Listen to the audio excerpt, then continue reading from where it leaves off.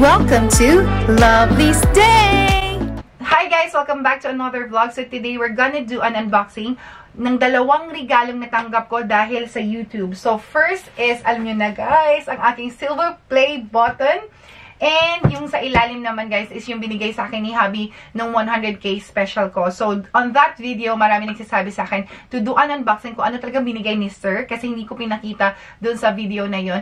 Pinag-iisipan ko talaga siya guys and may ribbon pa to. Hindi ko talaga siya binuksan pa talaga kasi lagi kong ano, iniisip na sinashrug off yung idea na i-upload sa sa YouTube kasi syempre I know what's going on sa ating uh, mundo guys. Alam ko na marami tayong pinagdadaanan. Ring lumabas na insensitive ako. So, yun, inisip, hindi ko, nakalagay lang siya sa kama, and lagi sinasabi ni Habi, ayaw mo bobang buksan? Ayaw mo ba yung regalo mo? So, naisip ko naman, guys, pinaghirapan ko rin naman to, and galing to sa asawa ko. So, might as well, let's just open and embrace it. Guys, story time sa aking silver play button kasi ang dami-daming yung mapapanood ng mga video, guys. Ang, ang taga-tagal nila nakuha yung silver play button nila. Eh ako parang ilang weeks lang, guys, nakuha ko na talaga siya. Kasi, guys, di lang... na, na ano ako guys, naloka naman ako sa may pasalompas ko. Ang cute-cute ng aking pa ano ngayon, pa pa pink na puffy dress. Tapos may pasalampas na na lang. Ang tanda-tanda mo na talaga, besh. So, little backstory nito, guys. Gaya ng sabi ko, matagal mo yun makuha. So, um, may bago na kasing patakaran si YouTube ngayon na magbibigay sila ng unique code for you to redeem yung actual um, award mo. So, um, sabi nila automatic after 100 after mo ma-reach yung 100,000 subscriber after one week magsasend sila ng message sa'yo. Pero hindi lang din na sobrang kulit ni Loveless din at alam ko rin naman talaga guys na hindi ganun ang kalakaran pag 100,000, uh, 101,000 subscriber ko, pag reach ko na yun, guys, message ko guys sila, Hi YouTube, this is Lovely's Day. Baka naman, pwede nyo nang ma-review yung channel ko at bigyan nyo na sa akin yung code at ma-redeem ko ng aking award. Sabi nila sa akin, you have to wait kasi nga, automatic daw magsisend si YouTube. So, nagantay naman ng lola niya for one, for one week. Pero hindi yun nangyari, guys. At alam ko talagang hindi yun mangyayari. So, ang kakulitan ko talaga, may napupuntahan din tayong mabuti. Minessage ko ulit sila. Meron silang creator support para sa mga content creator. And nag-chat ako sa kanila. Sabi ko, one week na, wala akong na-receive na code. Baka pwede namang internally, i-review nyo na lang yung channel ko para masend na sa akin yung code and para ma-redeem ko yung aking award. So, siguro guys, nakulitan na talaga sila sa akin. Siguro sinasabi nila, ang kulit-kulit ni Loveless Day. so, yun guys, after 2 days, nagsend na sila ng code. Meron sila nagsisend na link sa email mo kung paano mo siya i-redeem. All you have to do is put that unique code na isasend nila. Yun lang talaga yung kailangan mo. And after 1 week, guys, dumating na ang ating silver play button. So, Kahapon guys, kagabi to dumating. And nasa trabaho ko, si Habi yung um, nakatanggap nito. And nasa ano pa lang ako guys, nasa car park pa lang ako. Nagtatatakbo na siya. Nung narinig pa lang yung ugo ng sasakyan ko, nagtatatakbo na siya. Tapos nakaganyan-ganyan siya. Parang parang tuwang-tuwa talaga siya. Sabi niya, andito na, andito na. Tapos, parang ako guys, habang nagdadrive ako, nakatingin ako sa kanya, sabi ko, mas na-excite ako sa reaction niya kaysa sa actual na nakita ko yung silver play button kahit sobrang excited ko. Kasi alam niyo guys, parang na-realize ko talaga, grabe, sobrang supportive and sobrang mahal na mahal talaga ako ng tao na yun, na sobrang excited siya for me, na walang bahid na, ano guys, parang talagang pure love and excitement and happiness para sa akin. So, parang sabi ko, grabe. So, yun, pagbaba ko ng car, sabi niya, ha, nandito na, i-unbox mo, bilis, bilis, bilis. Sabi ko, hindi, hindi, i-unbox ko siya kapag medyo nakaayos naman ako. Parang bonggang-bongga naman kasi i-unbox ko rin yung regalo niya. So, yun guys.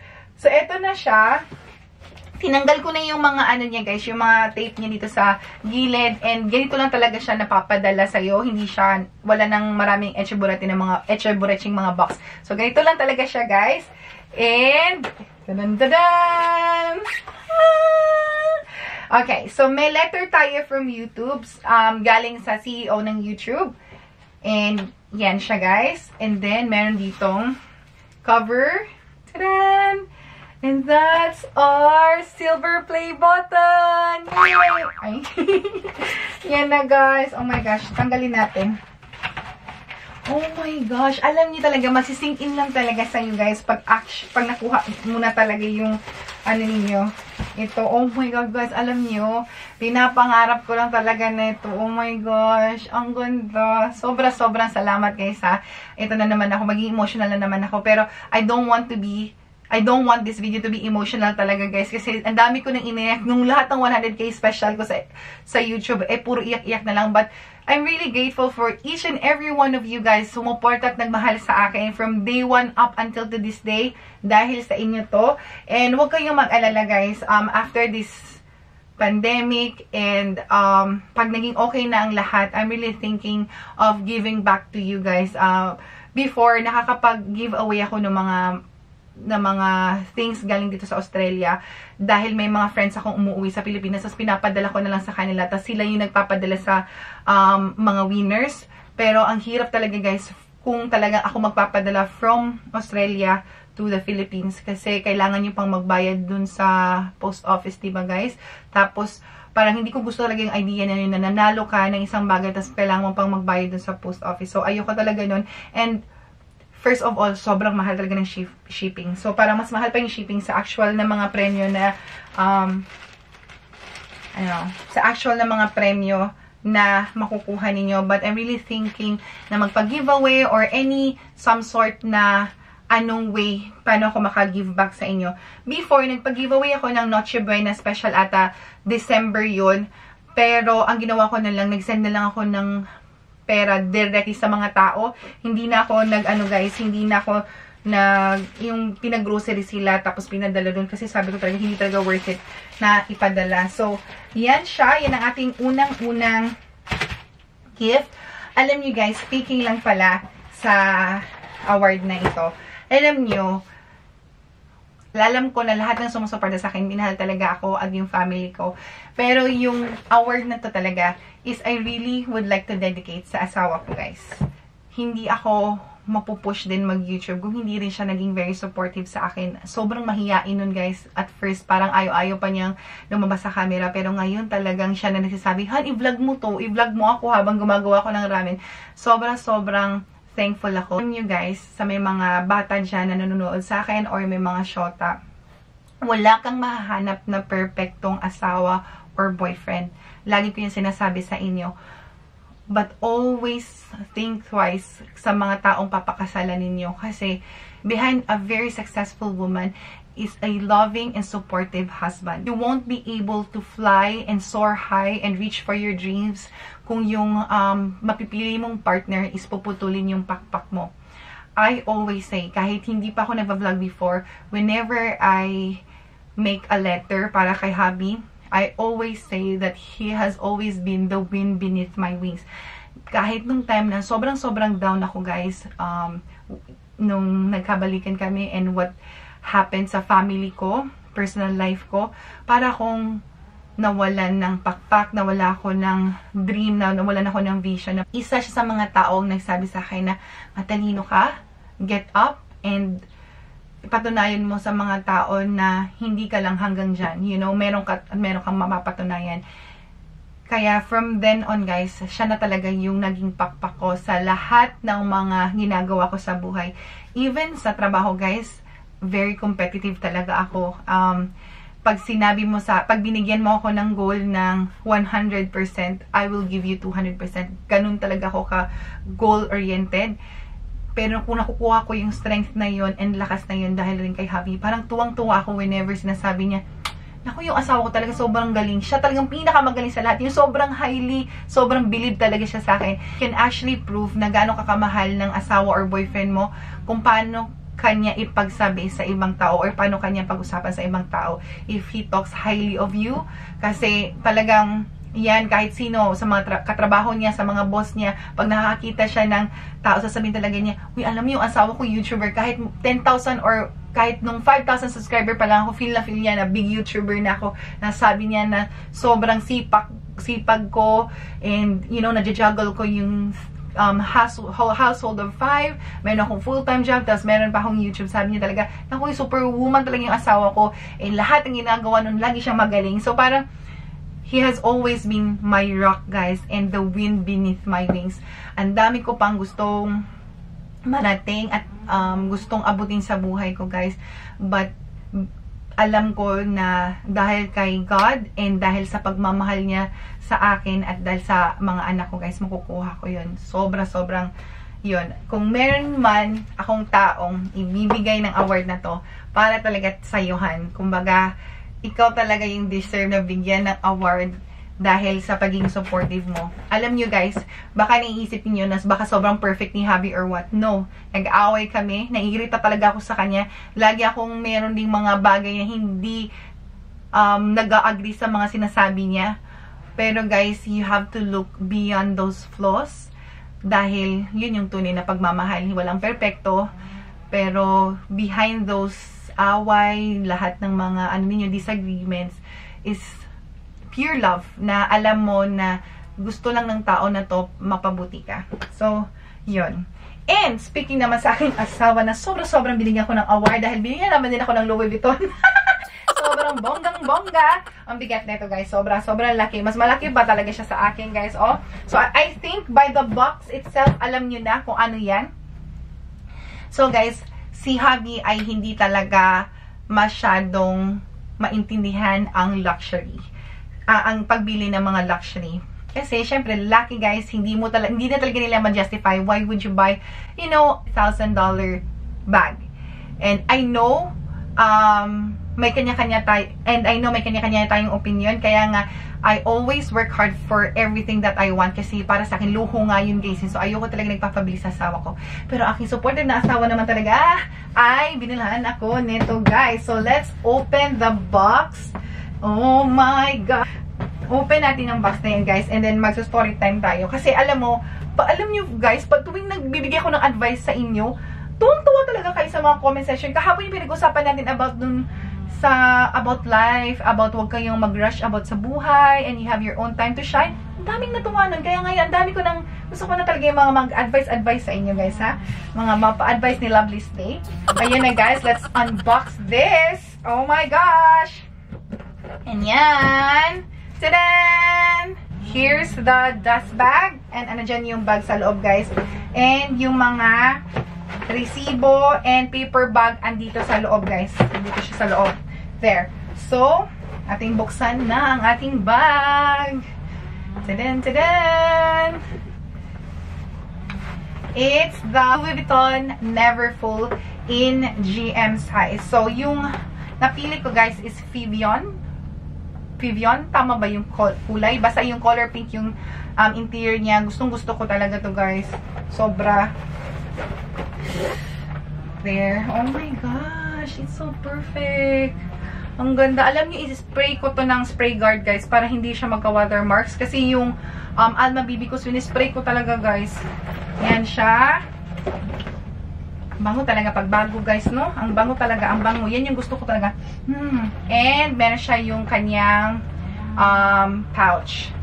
Yan, bongga. Oh, I love this.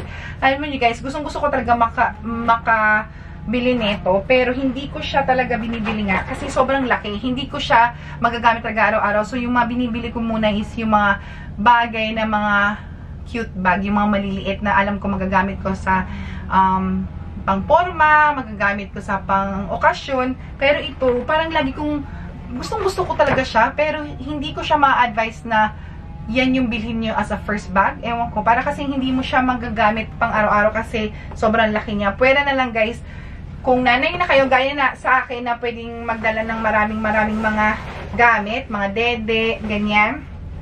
So, yan yung ating mga regalo guys, bonggang-bongga. So, ibalik na natin.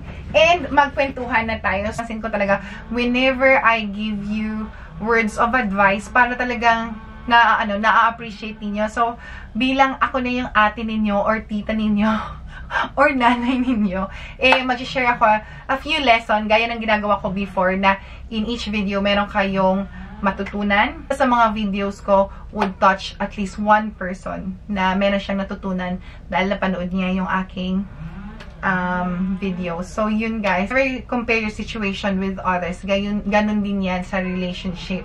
Not everything you see online in on social media, ang ingay talaga ng paano mo dyan. Oy, may, may, may paano talagang kapitbahay. Maingay yung paano mo, palon mower mo, nagbablog tayo. So, yun to you guys, never compare your situation or your life with others. That um, that should be applied to your love life as well or your marriage as well. Kasi, not everything you see on social media, lahat ng pinopost mo, puro I love you, yung mga surprises and all, that's good. But let it sink to you guys that no relationship or marriage is perfect. Hindi nakikita sa social media yung mga bagay sa likod ng mga surprises na yan, yung mga pains na pinagdadaanan ng bawat couple, yung mga disagreements nila, yung pag-aaway nila. So, wag niyong isipin at sabihin niyo sa mga shota or mga asawa ninyo, ay, buti pa si ano, binigyan ng ano, tapos ako wala. Or, bakit hindi ka sweet sa akin o ganyan yan. Never compare kasi iba-iba ng language of love ang tao.